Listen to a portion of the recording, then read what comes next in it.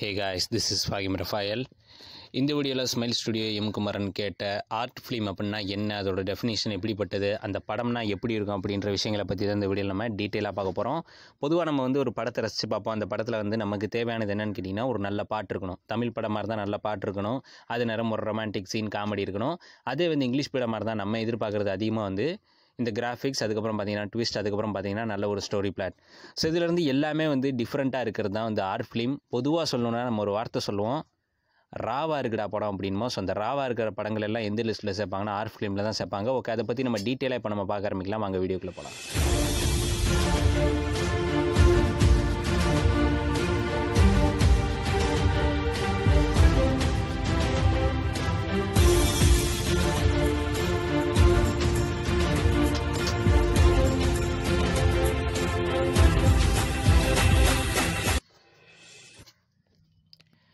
Okay இப்போ நம்ம video ஆரம்பிக்கிறதுக்கு முன்னாடி ஆர்ட் ஃபிலிம்னா நீங்கள் நினைக்கிற மாதிரி இல்லை. அதாவது ஆர்ட் ஃபிலிம் அப்படின்றது நிறைய பேர் என்ன நினைப்பாங்கன்னா கலைப்படம் அப்படின்னு நினைப்பாங்க. ஏதாவது ஒரு கலையை பற்றி காட்டுறது அந்த கலையை வந்து ஹைலைட்டாக காட்டுறது அது நடன கலையாக இருக்கட்டும் இல்லை ஏதாவது இருக்கட்டும் அந்த கலையை வந்து மெயின் பண்ணி காட்டுறது அப்படின்னு நினைப்பாங்க. ஆக்சுவலி அப்படியும் இருக்குது இருந்தாலும் வந்து அந்த படங்கள் எல்லாம் வந்து ஆர்ட் ஃபிலிமில் சேர்க்க முடியாது. ஆர்ட் ஃபிலிம் அப்படின்றது நம்ம நிஜ வாழ்க்கையில் நடக்கிற ஒரு யதார்த்தமான விஷயத்தை வந்து காட்டுறது தான் ஸோ உதாரணத்துக்கு சொல்லணும்னா யதார்த்தமான விஷயம்னா நம்ம வாழ்க்கையில் வந்து நம்ம படத்தில் பார்க்குற மாதிரி வில்லன் வந்து வில்லனை வந்து நம்ம ஈஸியாக ஜெயிக்க முடியாது.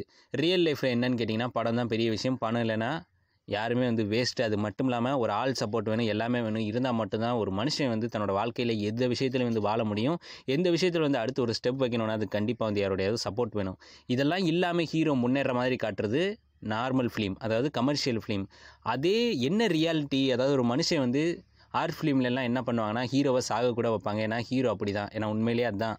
ஸோ நல்லவனாக இருந்தால் செத்து தான் போவான். ஸோ அந்த மாதிரி வந்து ரியாலிட்டி என்னவோ அப்படியே படம் பிடிச்சி காட்டுறது. ஸோ ரியாலிட்டியை காட்டுறது தான் அந்த ஆர்ட் ஃபிலிம் அது மட்டும் இல்லாமல் யதார்த்தமாக என்ன விஷயங்கள் நடக்குதோ அதை காட்டுறதும் ஆர்ட் ஃபிலிம் தான். இன்னொரு விஷயம் அவங்க வந்து ஸ்டோரி என்னவோ அதை மட்டும் கொடுப்பாங்க. அதாவது அந்த ஸ்டோரியில் வந்து பாட்டோ இல்லை காமெடியோ இருக்காது. அப்படியே அவங்களுக்கு மியூசிக் தேவைனாலும் மியூசிக் ரொமான்ஸ் எல்லாம் தேவைப்பட்ட இடங்களில் தான் சேர்ப்பாங்களே தவிர படம் முழுக்க வந்து இந்த பிஜிஎம்மோ இது எதுவுமே இருக்காது. ஏன் ஒரு சில படங்கள் எல்லாம் வந்து நீங்கள் பார்த்துருக்கலாம். இந்த பெங்காலி அதுக்கப்புறம் பார்த்தீங்கன்னா இந்த மராத்தி படங்கள் எல்லாம் ஆர்ட் ஃபிலிமில் ஒரு மியூசிக்கும் இருக்காது. அப்படியே வந்து ராவா படம் பார்க்குற மாதிரி இருக்கும். ஸோ இந்த மாதிரி இருக்கும். அடுத்தபடியாக சொல்லணும்னா இவங்களை வந்து கமர்ஷியலாக எடுக்க மாட்டாங்க. கமர்ஷியலாக எடுக்கணும்னா ஒரு டான்ஸ் வேணும் ஒரு காமெடி வேணும் ஒரு பாட்டு வேணும் ஹீரோ ஹீரோயின் ரொமான்ஸ் வேணும் ஒரு ஃபைட் சீன் வேணும். ஸோ இவ்வளோ விஷயம் இருக்கணும். கற்பனைக்கு அப்பாற்பட்ட விஷயங்கள் இருக்கணும். ஹீரோ வந்து பறந்து வந்து அடிக்கணும். அப்புறம் பார்த்தீங்கன்னா ஹீரோ தான் எல்லாத்துலேயும் ஜெயிக்கணும்.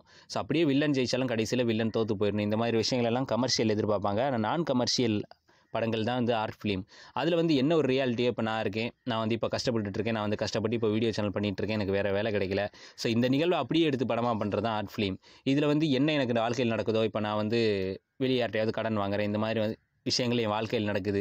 ஸோ அப்படியே எடுத்து படமாக காட்டுறது. இதில் வந்து ஒரு ரொமான்ஸ் எதுவுமே இருக்காது. ஏன்னா என்ன யார் லவ் பண்ணுவா? ஏன்னா நானே இப்படி இருக்கேன். ஸோ இதெல்லாம் வந்து ரியாலிட்டி என்னவோ என்னோட ரியாலிட்டி அப்படியே நான் படம் பிடிச்சி போட்டேன்னா அது ஆர்ட் ஃபிலிம் யதார்த்தமாக இருக்கும். அடுத்தபடியாக வந்து ஹைலி சிம்பாலிக் கண்டென்ட் ஒரு முக்கியம் ஒரு முக்கியமான கண்டென்ட்டாக தான் எடுப்பாங்க என்னை பொறுத்த வரைக்கும் சமுதாயத்திற்கு தேவையான கருத்து அல்லனா இந்த சமுதாயத்தில் ஏதாவது ஒரு சொசைட்டியில் மிகப்பெரிய பிரச்சனை இருக்குது அந்த மிகப்பெரிய பிரச்சனை ரியாலிட்டியில் எப்படி இருக்குது ஸோ அதை வந்து எப்படி மாற்றுறாங்க அப்படின்ற விஷயத்தை வந்து அப்படியே ப்ரெசென்ட் பண்ணுவாங்க. இதுக்கெல்லாம் வந்து யாரை நம்ம பாராட்டி ஆகணும்னா ஹாலிவுட் டேரக்டர்ஸ் தான். ஏன்னா அவங்க தான் வந்து இந்த எல்லாத்தையும் இந்த கான்செப்டை கரெக்டாக எடுப்பாங்க நேச்சராக கொடுப்பாங்க. சில நேரம் வந்து இந்த படத்தை பார்க்கவே வந்து ராவாக இருக்கும். என்னடா அது ஒரு மியூசிக் இல்லை ஒரு இது இல்லைன்னு.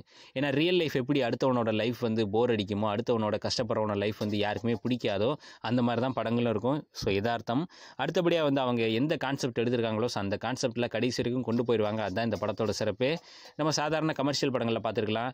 தேவையில்லாத இடங்களில் பாட்டு கொண்டு வந்து கதையை வந்து திருப்பி விடுவாங்க. ஆனால் அப்படி இல்லை. என்ன கதை எடுத்தாங்களோ அதுலேருந்து நேர்கோட்டில் பயணித்து கடைசியில் பார்த்தீங்கன்னா அந்த இடத்துல முடிப்பாங்க.